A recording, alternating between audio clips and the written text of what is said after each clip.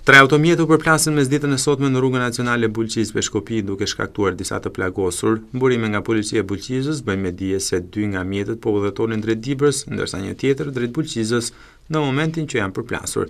Përplasja ka qenë e fortë duke dëmtuar shumë automjetet.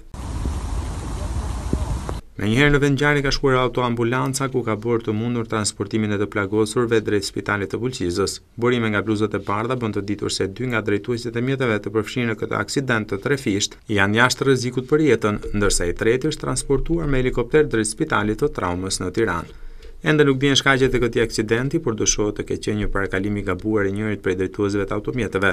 Më herët, një aksident u shënua edhe në aksin Burrel-Klos në fshatin Kujtim, ku dy automjete u përplasën me njëri-tjetrin, fatmirësisht pa shënuar viktima.